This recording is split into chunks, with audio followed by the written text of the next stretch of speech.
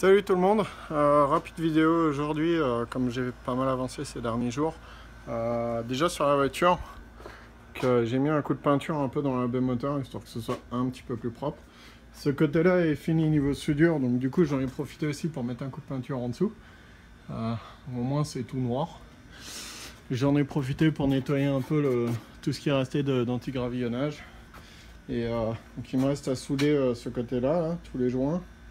Et puis, euh, pareil là-dedans, ici, euh, ici et là-bas en bas. Euh, j'ai soudé mon renfort ici. Donc, il y a eu 2-3 endroits où j'ai galéré un peu, mais globalement, ça s'est quand même bien passé.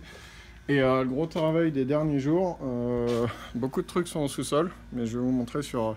J'ai fait les deux portes et le coffre. Mais grosso modo, je décape la carrosserie. Donc on est à brut de métal. Et euh, j'ai fait euh, donc là c'est de l'avant droite. je vais avoir un petit peu de débosselage à faire ici parce que c'est un peu un champ de bataille. Mais euh, au moins ça me permet de voir là où il y a du travail. Et puis là en bas j'ai pas j'ai pas nettoyé vu que c'est de la rouille de toute façon. Donc tout ça en fait ça va être coupé ici. J'ai les pièces là qui vont venir remplacer. Donc euh, faut que je m'occupe de ça là, dans les jours qui viennent. Je vais faire euh, l'autre aile. Pour l'instant ressemble à ça. Donc du coup je vais filmer tout à l'heure. On voit que celle-là a un trou encore plus gros niveau rouille. Donc je vais, euh, je vais filmer tout à l'heure et un autre ici, pardon. je vais filmer un petit peu le process. Vu que c'est tout simple. C'est avec du décapant peinture. Truc qu'il faut mettre avec le masque parce que ça pue comme c'est pas possible. Et euh, surtout essayer de faire en étant un peu euh, fringué euh, parce que si on en prend sur la peau grosso modo en 10 minutes faut aller se laver. Donc voilà je vais filmer un petit peu les différentes étapes sur l'autre aile. Et après il me restera le capot aussi qui est là. Seul problème du capot c'est que j'ai mesuré l'autre jour en fait avec le moteur.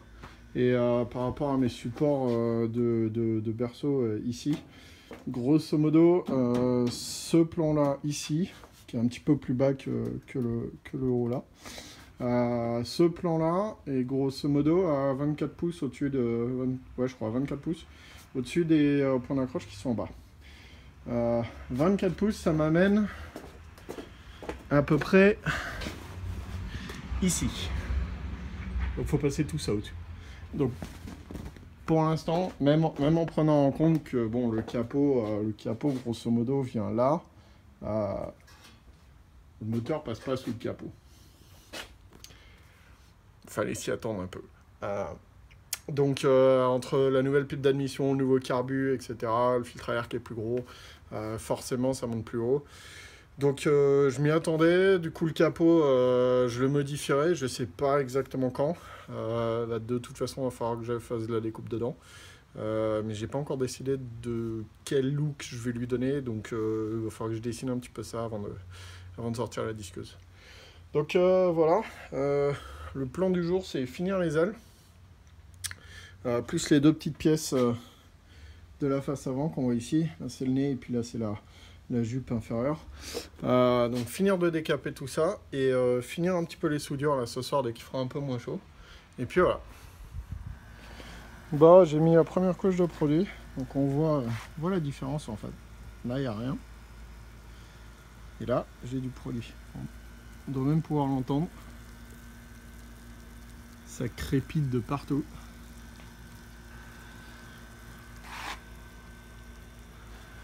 Donc après, on va racler euh, avec une raclette pour enlever tout ça.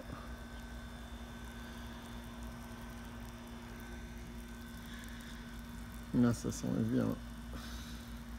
Donc voilà.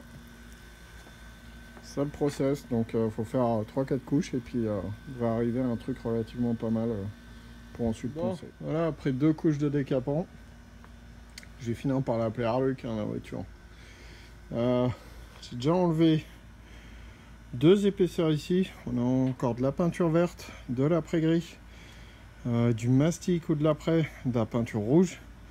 Euh, il y a un petit peu de vert encore en dessous. Et il y a encore de l'après euh, jaune euh, encore en dernier. c'est... Je crois que là où j'en ai le plus, j'en ai eu 7 couches ou un truc comme ça. Et là, l'avant, mastic, mastic. Donc, il va falloir que je fasse sauter tout ça pour voir à quoi ça ressemble en dessous. Et que je décabosse tout ce que je peux. Quoi. Bon, et eh ben, il a fallu que je choisisse un panneau où il y avait une tonne de mastic. Donc euh, là, j'ai enlevé quasiment jusqu'à la dernière couche. Le reste, euh, ça réagit plus avec le produit. Et là, à l'avant, j'ai la voiture a donc pris un bon impact, je pense. Vu que j'ai enlevé euh, quasiment un centimètre et quelques de mastic ici. Puis on en a encore dedans. Donc il va falloir que je fasse sauter ça. Et pareil ici. pour comparer, c'est censé être comme ça.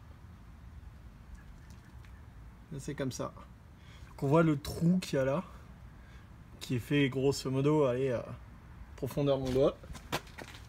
Donc ici, il n'y en a pas. Donc voilà.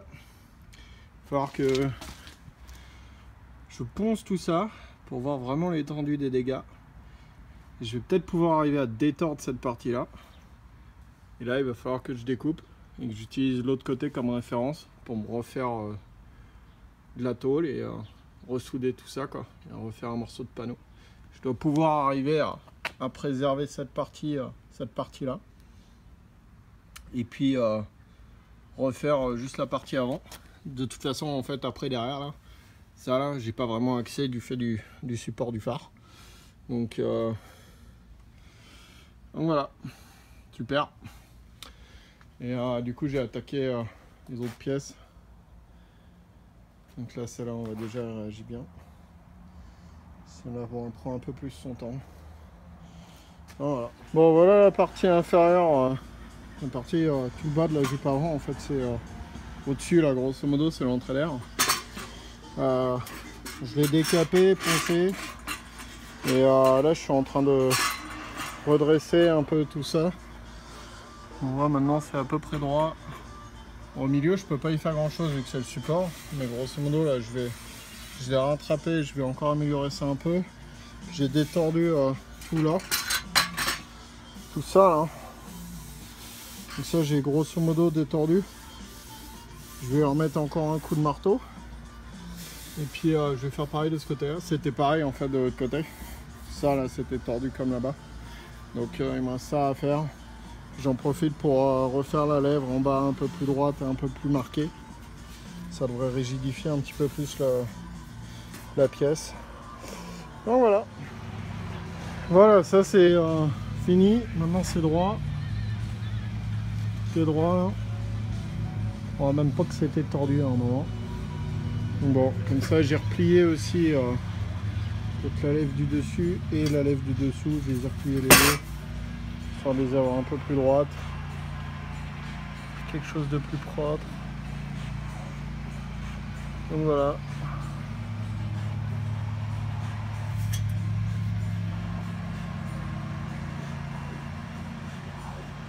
Voilà. Maintenant, euh, je vais attaquer à poncer ça. Hein. C'est bien pour voilà qui conclut la journée. Euh, il reste encore du mastic, mais bon, j'en enlevé le plus gros. Donc je finirai par euh, couper ça. Tout ça là. Ça je dois pouvoir peut-être le détendre. Euh, ça va être galère. Donc je vais sûrement couper en fait euh, là. Faire un patch de toute cette zone là. Et puis ça, je dois pouvoir en détordre une grosse partie quand même parce que c'est accessible par derrière. Donc j'essaierai demain et puis on verra il y a plein de petits trous qu'il va falloir que je bouge de toute façon. On va essayer de ramener ça euh, du mieux possible. Voilà, bon le reste de l'aile est euh, pas trop mauvais. Ici forcément, bon c'est rouillé mais ça va dégager. Désolé, il y a le bruit du compresseur derrière, mais euh, puis voilà. Donc voilà. Et puis l'autre aile et la jupe. Demain il faut que je fasse ça aussi. Voilà. C'est tout pour aujourd'hui.